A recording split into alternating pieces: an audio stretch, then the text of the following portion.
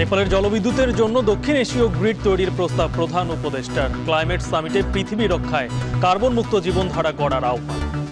We need to mobilize our intellectual financial and youth power to lay the foundation of a new civilization all we need to do is to new lifestyle consistent with safety of the planet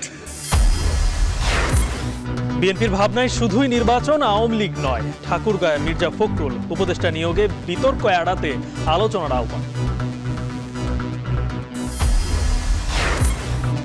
Sheikh মুজিবকে জাতির পিতা বলা সংবিধানের সঙ্গে সাংঘর্ষিক। পঞ্চদশ সংশোধনী বাতিলের শুনানিতে অ্যাটর্নি জেনারেল। এবং রাজধানীতে নতুন উদ্যমে চালু হচ্ছে নগর পরিবহন। এক কোম্পানিতেই চলবে সব বাস। থাকবে র্যাপিড পাসের সুবিধা।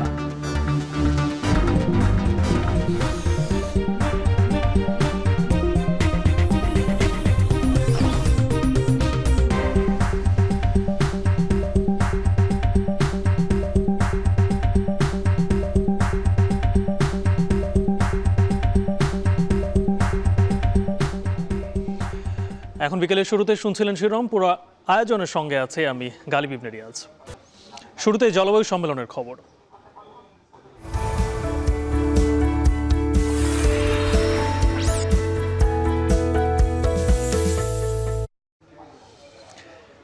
ব্যক্তি স্বার্থ বা অর্থনৈতিক মুনাফার আশা বাদ দিয়ে জলবায়ু সংকট মোকাবেলায় নতুন সংস্কৃতি বিনির্মাণে জোর দিয়েছেন বাংলাদেশের অন্তর্বর্তী সরকারের প্রধান উপদেষ্টা ডক্টর ইউনুস। জাতিসংঘের জলবায়ু সম্মেলনের তৃতীয় দিনে প্রধান উপদেষ্টা বলেন, কার্বন নিঃসরণ ও জীবাশ্ম জ্বালানির ক্ষতিকর প্রভাব মোকাবেলায় এমন একটি বিজনেস মডেল তৈরি করতে হবে যার উদ্দেশ্য তরুণ উদ্যোক্তাদের মাধ্যমে আর্থসামাজিক সংকট ও পরিবেশ বিপর্যয় বন্ধ করা।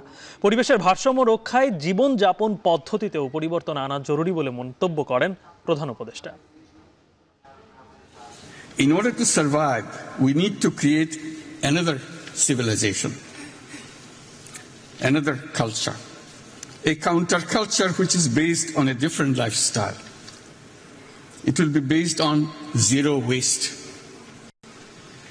It will limit consumption to essential needs, leaving no residual waste.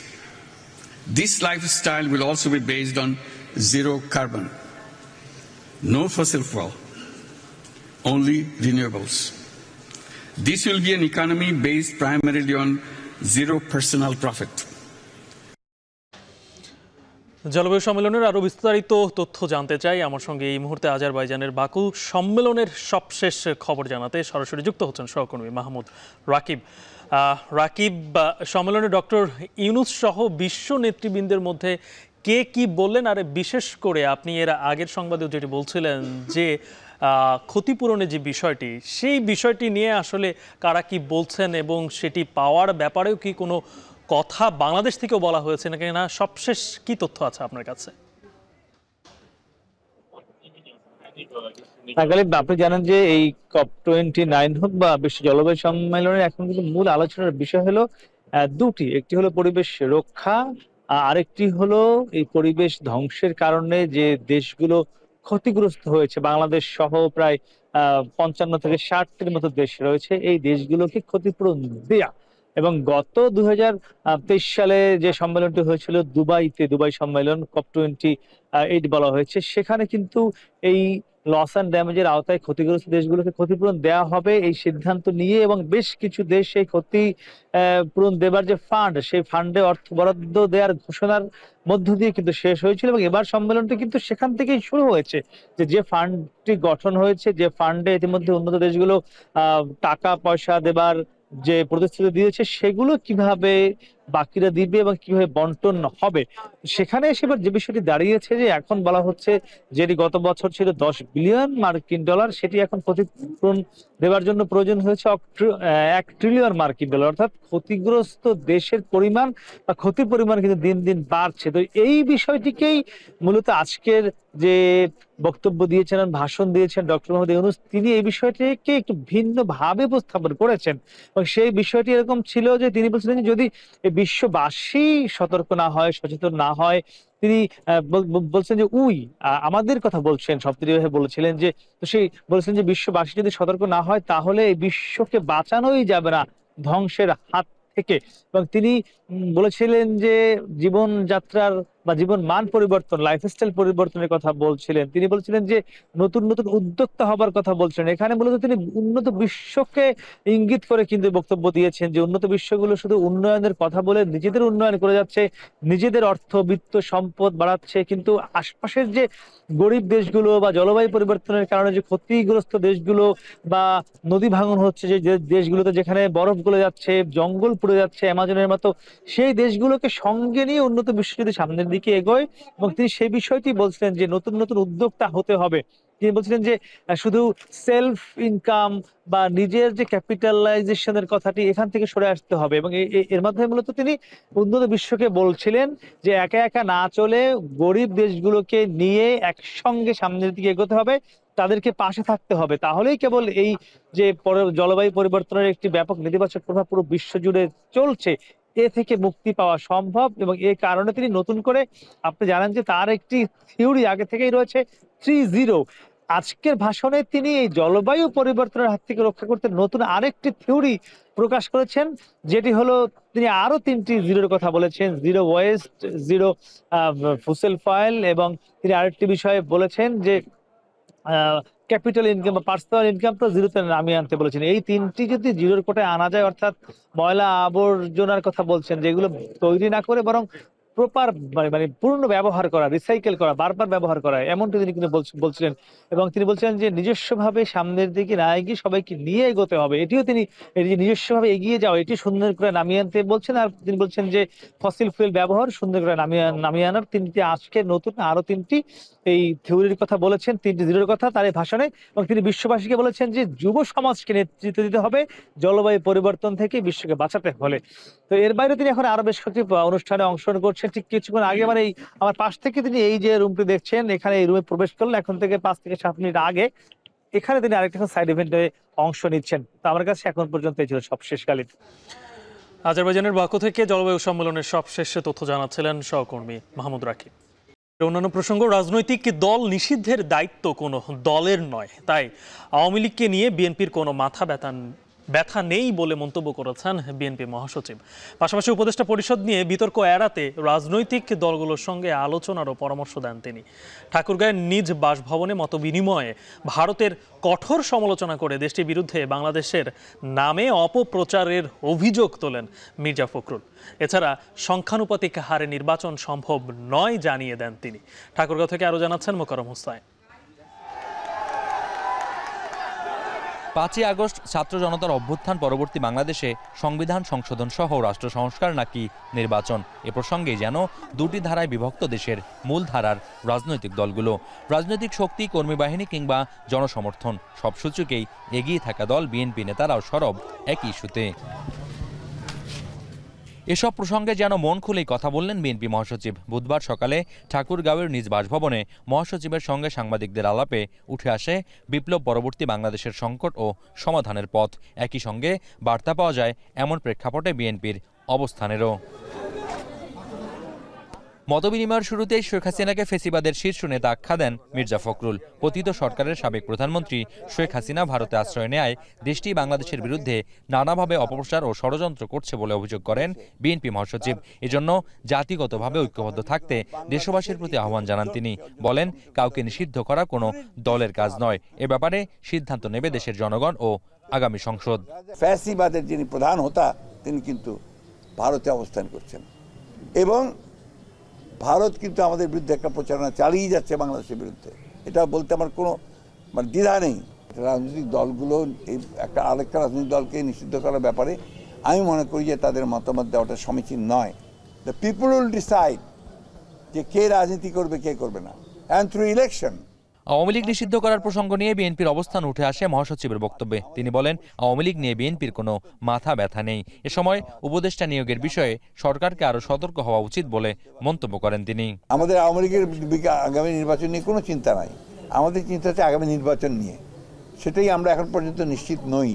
কারণ বর্তমান যে আপনার আপনার অন্তর্বর্তীকালীন সরকার আছে, তারা এখন পর্যন্ত নির্বাচনের কোনো রোড ম্যাপ দেয়নি। তাদের প্রধান যে দায়িত্ব সেটা আমরা বারবার করে বলছি যে তাদের সবগুলো সংস্কারে হাত দেওয়া আমরা মনে করি যে খুব বেশি প্রয়োজন নাই। সেটা নির্বাচিত যে পার্লামেন্ট আসবে সেই পার্লামেন্ট সেই কাজগুলো করবে। একই আলোচনায় গণমাধ্যমের এক প্রশ্নের জবাবে জামায়াত সহ কয়েকটি রাজনৈতিক দলের সংখ্যানুপাতিক হারে নির্বাচনের প্রস্তাব নাকচ করে দেন বিএনপি মহাসচিব। মোকারম হুসাইন এখন ঠাকুরগাঁও। অন্তর্বর্তী সরকারের স্বল্প মেয়াদী সংস্কারের কাজ চলমান, তবে দীর্ঘমেয়াদী সংস্কার করবে নির্বাচিত সরকার, বলে জানিয়েছেন অর্থ উপদেষ্টা ডক্টর সালাউদ্দিন আহমেদ। পিকেএসএফ দিবসের অনুষ্ঠানে অংশ নিয়ে তিনি আরও বলেন, ব্যাংক সংস্কারের মাধ্যমে পরবর্তী সরকারের জন্য একটি ফুটপ্রিন্ট করে দিতে চায় বর্তমান সরকার। এ সময় অর্থ উপদেষ্টা বলেন, দ্রব্যমূল্য কমানো শুধু মন্ত্রণালয়ের কাজ না, সবার সম্মিলিত প্রচেষ্টা প্রয়োজন। জনগণের সমালোচনা সত্ত্বেও অন্তর্বর্তী সরকার দায়িত্ব পালন করে যাচ্ছে বলেও মন্তব্য করেন তিনি।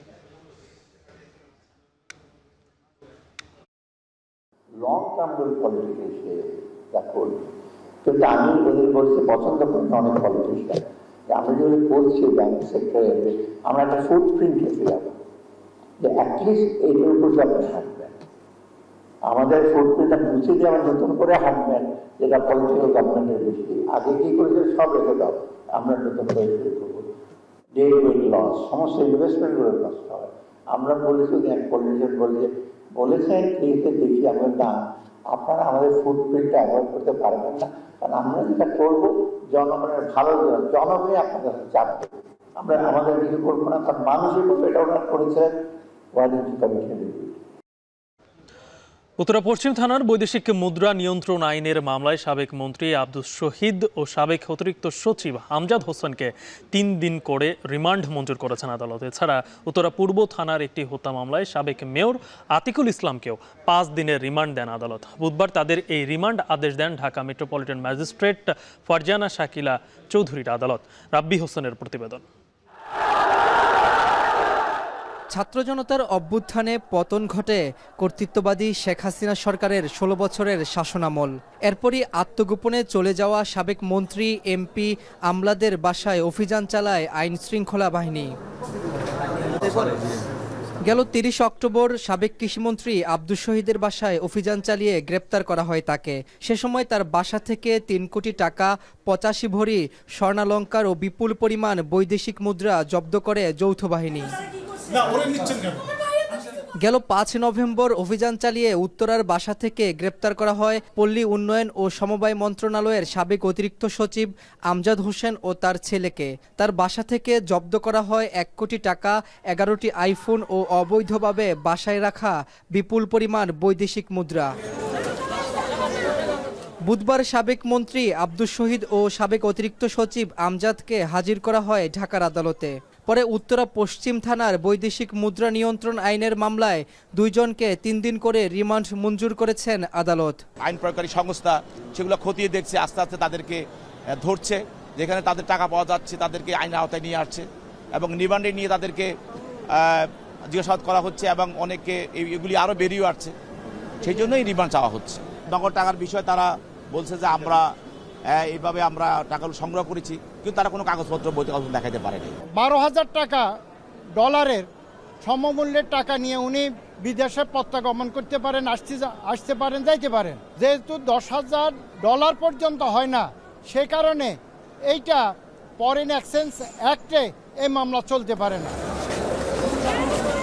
এছাড়া উত্তরা পূর্ব থানার একটি হত্যা মামলায় সাবেক মেয়র আতিকুল ইসলামের পাঁচ দিন ও একই থানার আরেকটি হত্যা মামলায় অ্যাডভোকেট মমতাজউদ্দিন আহমেদ মেহেদির তিন দিনের রিমান্ড মঞ্জুর করেন আদালত। উত্তরের মেয়র আতিকুল ইসলাম, তাকে উত্তরা পূর্ব তিন নয় চব্বিশ, এটি একটি হত্যা মামলা। এই মামলায় তার বিরুদ্ধে পাঁচ দিন রিমান্ড মঞ্জুর করা হয় এবং উত্তরা পশ্চিম দশ দশ চব্বিশ, এটা একটি হত্যা মামলা। এই মামলায় আওয়ামী লীগের সাবেক কার্যক্রম কমিটির সদস্য মমতাজউদ্দিন আহমেদ মেহেদি তাকে তিন দিন রিমান্ড মঞ্জুর করা হয়।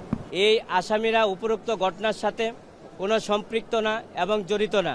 এই রাজ, মামলাগুলি যে সম্পৃক্ত করা হচ্ছে যা মানবাধিকারের প্রশ্ন লঙ্ঘন এবং সংবিধানের লঙ্ঘন এবং শুধু সাবেক সরকারের মন্ত্রী ছিলাম, এমপি ছিলাম, মেয়র ছিলাম, সেই কারণেই আমাদেরকে এই মামলায় সম্পৃক্ত করা হচ্ছে এবং এদিন মোহাম্মদপুর থানার একাধিক মামলায় সাবেক মন্ত্রী হাসানুল হক ইনু, সাবেক এমপি সাদিক খান ও সাবেক কাউন্সিলর সলিমুল্লাহ সলুকে গ্রেপ্তার দেখানো হয়।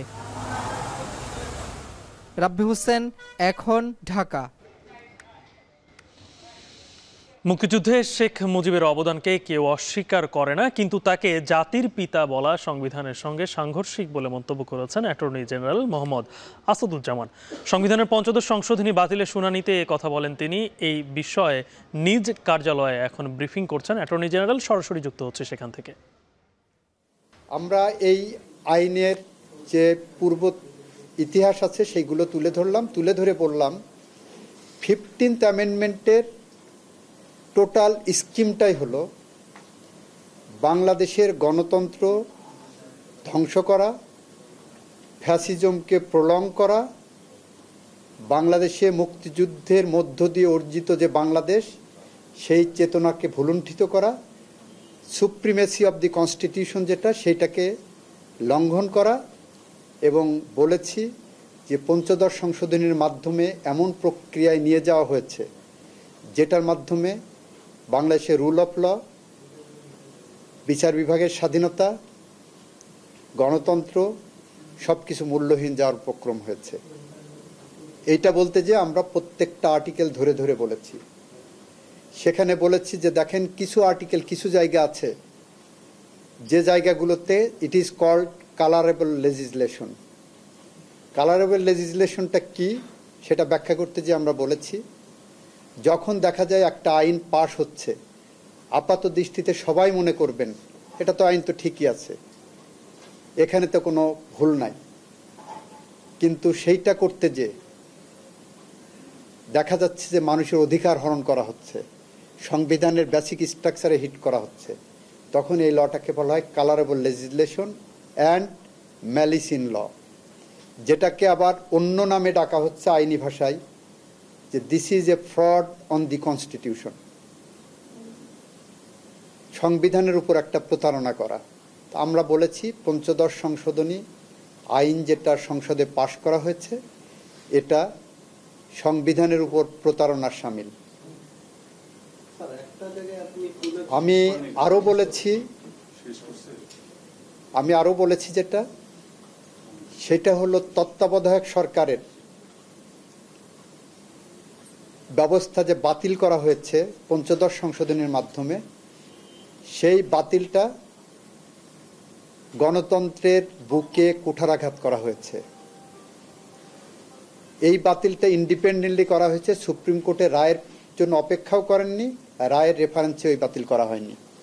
সুতরাং ইন্ডিপেন্ডেন্টলি পঞ্চদশ সংশোধনী বাতিল, পঞ্চদশ সংশোধনের মাধ্যমে তত্ত্বাবধায়ক ব্যবস্থা বিলোপ করা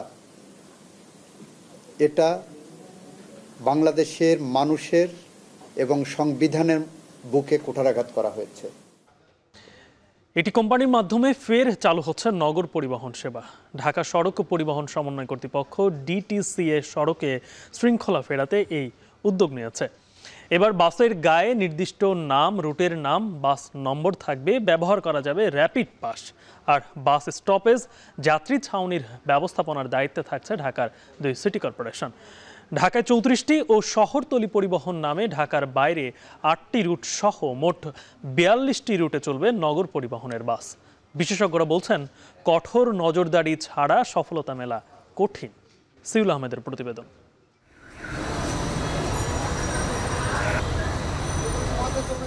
নগর পরিবহন। রাজধানীবাসীকে যাত্রায় কিছুটা আরামদায়ক, গণপরিবহনে শৃঙ্খলা আনা আর অসুস্থ প্রতিযোগিতা থেকে এ খাতকে বাঁচাতে জাঁকজমকপূর্ণ আয়োজনের মধ্য দিয়ে চালু করা হয়েছিল ঢাকা নগর পরিবহন। অথচ ঘাটার চরে বাস ডিপোতে পড়ে আছে বাস।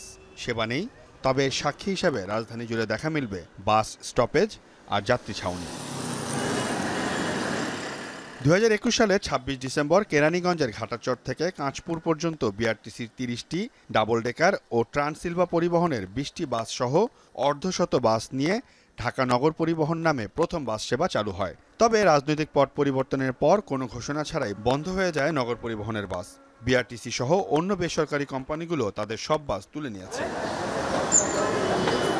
অন্তর্বর্তীকালীন সরকার ক্ষমতা নেয়ার পর থেকেই গণপরিবহন নিয়ে নতুন করে চিন্তাভাবনা শুরু করে ঢাকা সড়ক পরিবহন সমন্বয় কর্তৃপক্ষ, ডিটিসিএ। রাজধানীর গণপরিবহনের শৃঙ্খলা ফেরাতে উদ্যোগ নেওয়া হয় নগর পরিবহন আবারও ফিরিয়ে আনার। এবার বাসের গায়ে নির্দিষ্ট নাম, রুটের নাম, থাকবে বাস নম্বর।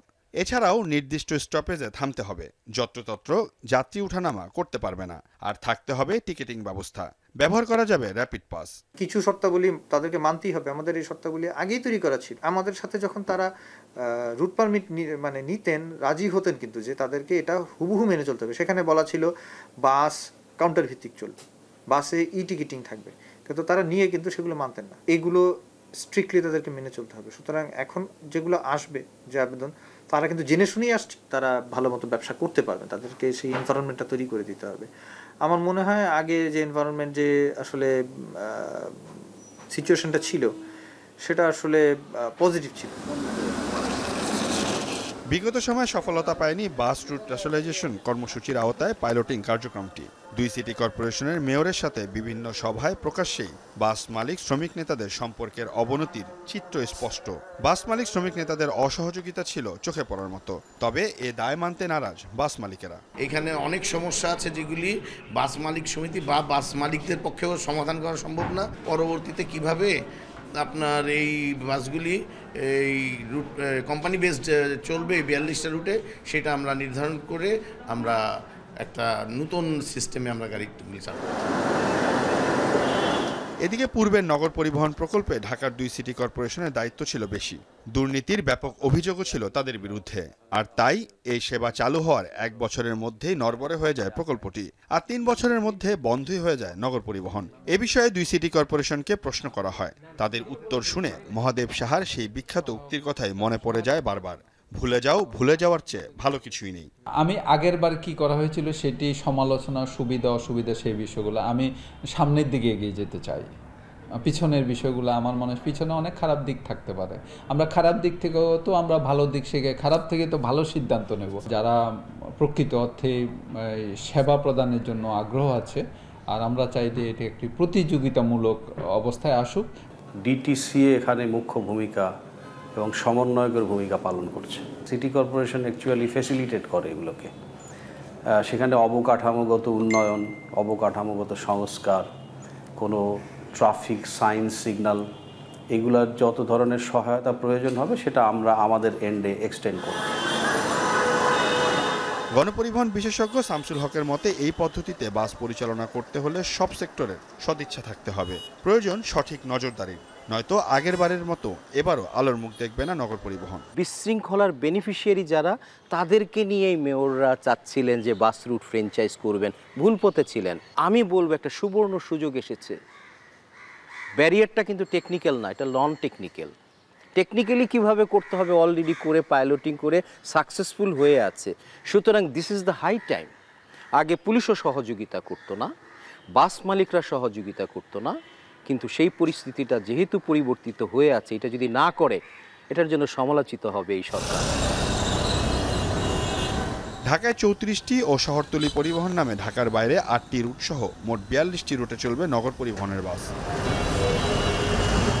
দুই হাজার পনেরো সালে গণপরিবহনে শৃঙ্খলা আনতে প্রয়াত মেয়র আনিসুল হক রুট ভিত্তিক কোম্পানির অধীনে বাস সেবা চালুর উদ্যোগ নিয়েছিলেন। ঠিক তার সাত বছর পর ঢাকার দুই মেয়র ঢাকা নগর পরিবহন নামে রুটভিত্তিক বাস পরিচালনা করা শুরু করে। তবে দুর্নীতি, দুই মেয়রের খামখেয়ালি, বাস মালিকদের অসহযোগিতা আর সর্বশেষ জুলাই বিপ্লবের পরে দুই মেয়রের পলায়ন ইত্যাদি বিভিন্ন কারণে প্রায় কয়েক কোটি টাকা লসে ঘোষণা ছাড়াই বন্ধ হয়ে যায় ঢাকা নগর পরিবহন। তবে ঢাকা সড়ক পরিবহন কর্তৃপক্ষ বলছে, নতুন করে প্রায় বিয়াল্লিশটি রুটের মাধ্যমে আবারও ফেরত আসছে ঢাকা নগর পরিবহন। বলছেন, এবার গণপরিবহনে শৃঙ্খলা ফেরত আসবে। তবে দেখার বিষয়, কতদিনই বা চলে এই ঢাকা নগর পরিবহন আর কতটুকুই বা সুফল পায় সাধারণ জনগণ। সিউল আহমেদ, এখন ঘাটার চর বাস ডিপো, ঢাকা। সংস্কৃতি উপদেষ্টা মুস্তফা সরোয়ার ফারুকি বলেছেন, অমর একুশে বইমেলা সোরার দিয়ে উদ্যানেই হবে। বইমেলার আয়োজন সুন্দরভাবে শেষ করতে তিন মন্ত্রণালয়ের সমন্বয়ে কাজ করা হচ্ছে বলে জানান তিনি। সচিবালয়ে গ্রুপ থিয়েটার ফেডারেশনের নেতাদের সাথে আলোচনা শেষে ব্রিফিংয়ে একথা বলেন তিনি।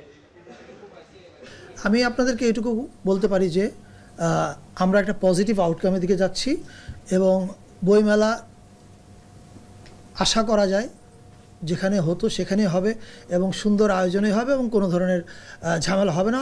ইতিমধ্যেই তিন মন্ত্রণালয় একসঙ্গে এটা নিয়ে কাজ করছে এবং তিন মন্ত্রণালয়ের সভা হয়েছে, সামনে আরও হবে। ব্যাংকের তারল্য সংকটে বিপাকে খাতুনগঞ্জের ব্যবসায়ীরা। নগদ টাকা, চেক বা পে অর্ডার লেনদেন কোনো সেবাই চাহিদা মতো দিতে পারছে না কোনো কোনো ব্যাংক। এতে পণ্যের সরবরাহ সংকটের পাশাপাশি প্রতিশ্রুতি ভঙ্গের মতো ঘটনা ঘটছে ক্রেতা বিক্রেতার মাঝে, হচ্ছে বাগবিতণ্ডা অনেকে টাকা না পেয়ে আগের চেক ফেরত দিয়ে যাচ্ছেন। তারল্য সংকট দীর্ঘায়িত হলে রমজানে ভোগ্য পণ্য আমদানি ব্যাহত হওয়ার শঙ্কা ব্যবসায়ীদের। চট্টগ্রাম থেকে শোয়েব রহমানের প্রতিবেদন। খাতুনগঞ্জের খেজুর ব্যবসায়ী মোহাম্মদ জাকের সওদাগর। আমদানি রপ্তানি ছাড়াও দৈনিক লাখ লাখ টাকার লেনদেন করতে হয় এই ব্যবসায়ীকে, যার নব্বই শতাংশই হয় ব্যাংকে। একাধিক ব্যাংকে রয়েছে তার হিসাব, কিন্তু কয়েকটি ব্যাংকে এখন স্বাভাবিক লেনদেন করতে পারছেন না তিনি। এখন টেলিভিশনের সামনেই এই ব্যবসায়ী ফোন করেন একটি ব্যাংকের ম্যানেজারের কাছে। জানতে চান, লেনদেন করতে পারবেন কিনা? জবাবে নিজের অসহায়ত্বের কথা জানান ব্যাংক কর্মকর্তা। এক লক্ষ টাকা চাইলে সারা মিলে পঞ্চাশ হাজার টাকার। Ya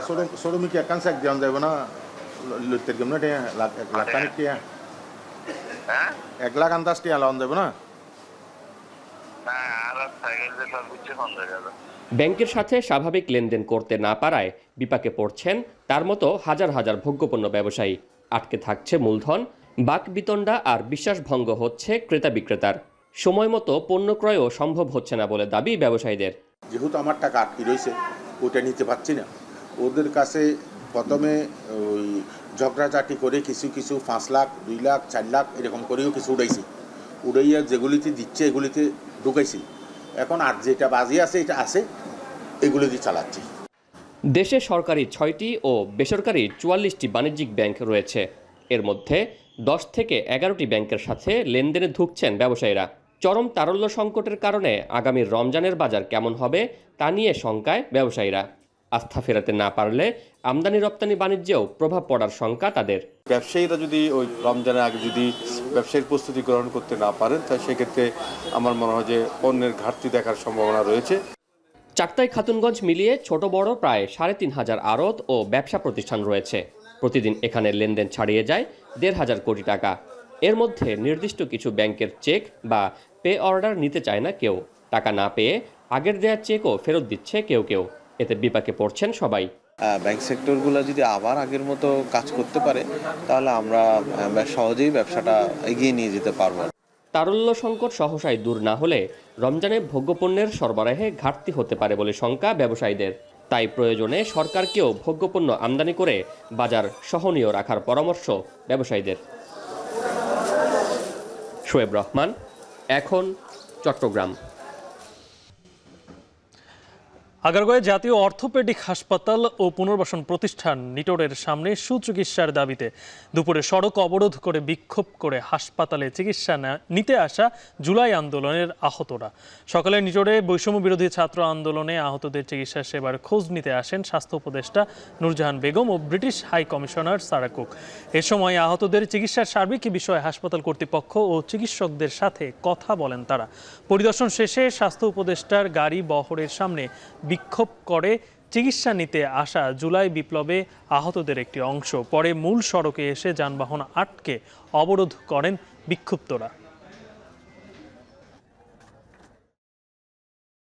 আমাদের এখানে যে একজন উপদেষ্টা আসছে, আসার পরে মানে উনি মানে চতুর্থ তলায় যায়, চতুর্থ তলায় গিয়ে মানে চার পাঁচটা পেস ইয়া দেখে, দেখার পর উনি ডাইরেক্টলি চলে যেতেছে আমি তো, আমরা তো এরকম চাই না। আমরা চাই আমাদের যে ভাই আছে, তাদেরকে প্রত্যেকটা যেন ভালোভাবে চিকিৎসা হয়। আমাদের আহত ভাইদের পেছনে আমরা আহতরাই দৌড়াই। তাহলে স্বাস্থ্য উপদেষ্টা থেকে যেই ছাত্র প্রতিনিধি দিচ্ছে তারা কোথায়? তাদের লাগবে আমাদের। রাজধানী পুরান ঢাকায় নিষিদ্ধ পলিথিন উৎপাদনকারীদের বিরুদ্ধে অভিযান পরিচালনা করেছে পরিবেশ অধিদপ্তর। বুধবার সকালে চক বাজারের কামালবাগ এলাকায় যৌথ বাহিনীকে সঙ্গে নিয়ে এই অভিযান শুরু হয়। এ সময় একটি কারখানা সিলগালা করা হয় এবং বিপুল পরিমাণ পলিথিন জব্দ করা হয়। এছাড়াও বিচ্ছিন্ন করা হয় কারখানাটির বিদ্যুৎ সংযোগ। দিনভর অভিযান পরিচালনার কথা থাকলেও এক পর্যায়ে স্থানীয় শ্রমিকদের তোপের মুখে তা বন্ধ করে দেয় পরিবেশ অধিদপ্তরের কর্মকর্তারা।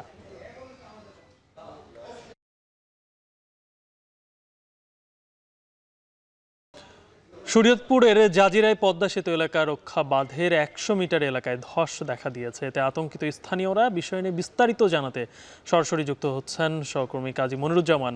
মনিরুজ্জামান, ভাঙনের তীব্রতা কেমন এবং ভাঙন প্রতিরোধে কোনো ব্যবস্থা কি নেওয়া হয়েছে?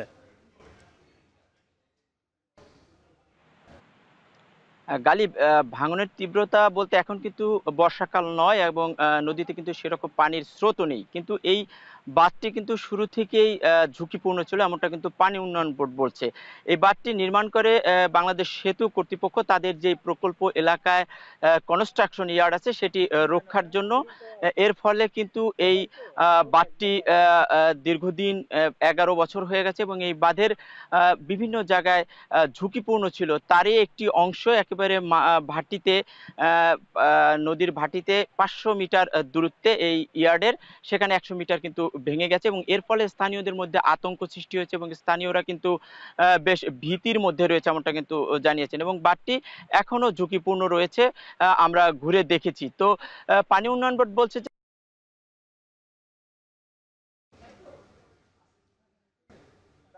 এই প্রকল্পের অন্তর্ভুক্ত করতে চেয়েছিল। কিন্তু এই প্রকল্পটি তারা অন্তর্ভুক্ত করতে না পারায় কিন্তু এখন এই কাজটি করা তাদের জন্য দুরূহ হয়ে গেছে। যদিও ইতিমধ্যে যদিও ইতিমধ্যেই বাংলাদেশ সেতু কর্তৃপক্ষ এই বাদ এলাকা আহ, ঘুরে গেছেন এবং তারা দেখেছেন এবং তারা কিন্তু আহ, পানি উন্নয়ন বোর্ডকে এই কাজটি করার নির্দেশ দিয়েছেন। তারা বলেছেন যে আসলে তিরিশে জুন পদ্মা সেতু প্রকল্পের কাজ সমাপ্ত করেছে বাংলাদেশ সেতু কর্তৃপক্ষ। এখন আর তাদের এই কাজটি করার সুযোগ নেই।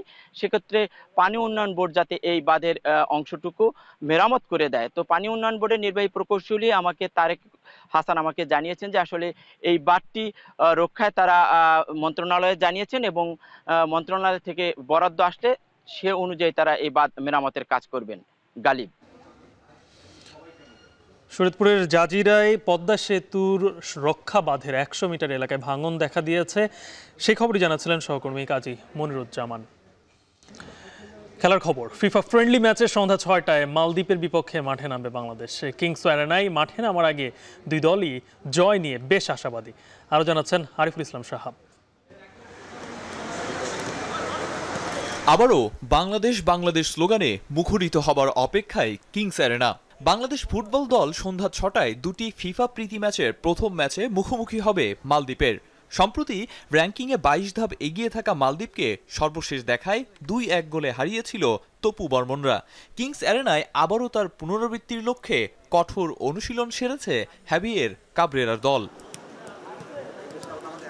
গত নভেম্বরের পর প্রায় এক বছর আন্তর্জাতিক ম্যাচ খেলেনি মালদ্বীপ। এমনকি মাঠে গড়ায়নি তাদের ঘরোয়া লিগও তারপরেও আত্মবিশ্বাসী মালদ্বীপ কোচ আলী সুজেইন দলের প্রস্তুতি নিয়েও সন্তুষ্টি ঝরল তার কণ্ঠে I hope with my players because uh, as you know Maldives has very fast talented striking players so with these players still uh, we can do something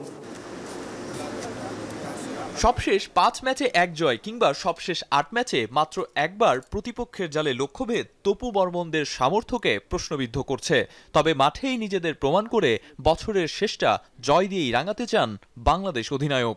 আমরা মানে লাস্ট আটটা ম্যাচে না, অনেকদিন যাবত ধরে এরকম প্রবলেম হচ্ছে। এটা আমাদের মাথায় আছে এবং আমাদের কোচ এবং আমাদের অ্যাসিস্ট্যান্ট কোচ তারা অলরেডি কাজ করেছে ফিনিশিং নিয়ে। তো অবভিয়াসলি এটা কালকে মাঠে দেখতে পারবেন।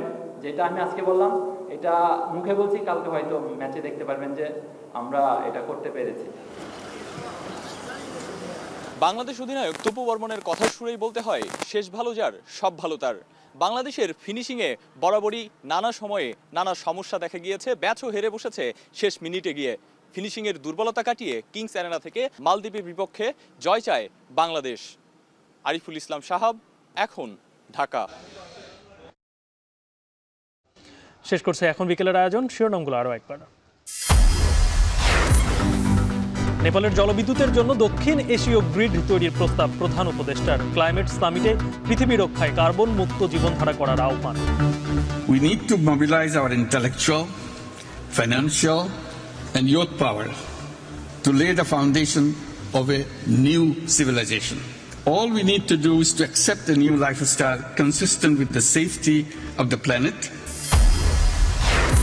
বিএনপির ভাবনায় শুধুই নির্বাচন, আওয়ামী লীগ নয় ঠাকুরগাঁয় মির্জা ফখরুল উপদেষ্টা নিয়োগে বিতর্ক এড়াতে আলোচনার আহ্বান। শেখ মুজিবকে জাতির পিতা বলা সংবিধানের সঙ্গে সাংঘর্ষিক, পঞ্চদশ সংশোধনী বাতিলের শুনানিতে অ্যাটর্নি জেনারেল। এবং রাজধানীতে নতুন উদ্যমে চালু হচ্ছে নগর পরিবহন। এক কোম্পানিতেই চলবে সব বাস, থাকবে র্যাপিড পাসের সুবিধা।